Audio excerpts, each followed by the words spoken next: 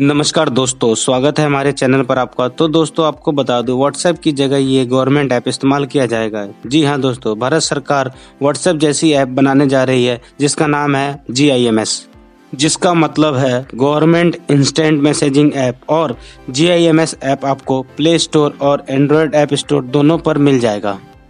Ministry of electronic information technology के अंदर आने वाला नेशनल इंफॉर्मेटिक्स सेंटर इस ऐप पर काम कर रहा है और उम्मीद है इस साल के अंत तक पूरी तरह बनकर तैयार हो जाएगा।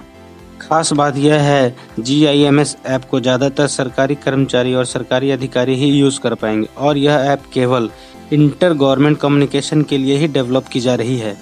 स्टेट गवर्नमेंट और सेंट्रल गवर्नमेंट के सभी कर्मचारी को आपस में कनेक्ट रखने के लिए मैसेज शेयरिंग और डाटा शेयरिंग के लिए केवल G I M S app का ही यूज़ करना होगा। भारत सरकार का यह कदम सरकारी कामकाज की गोपनीयता को बनाए रखने के लिए है, क्योंकि व्हाट्सएप पर काफ़ी टैक्सेस जैसे साइबर अटैक हुए हैं, जिसमें लाखों लोगों की जासूसी की गई थी।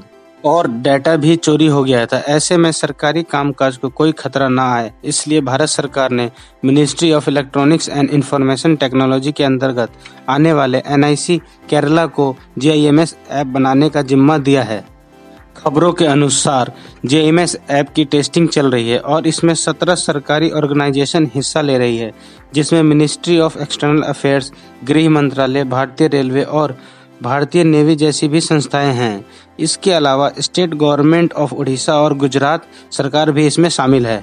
इसमें अभी तक कुल 6,600 सरकारी अधिकारी जेएमएस ऐप टेस्टिंग का हिस्सा है और 20 लाख से ज़्यादा मैसेज भेज चुके हैं और रिसीव कर चुके हैं ताकि ऐप के ज़रिए भेजे गए मैसेज की जासूसी ना की जा सके। इसलिए time to time GIMS app पर रिसर्च चल रहा है। तो दोस्तों, यह जानकारी आपको कैसी लगी, हमें कमेंट बॉक्स में लिखकर ज़रूर बताएँ। और हमारे वीडियो को लाइक करना, शेयर करना और हमारे चैनल को सब्सक्राइब करना ना भूलें। धन्यवाद।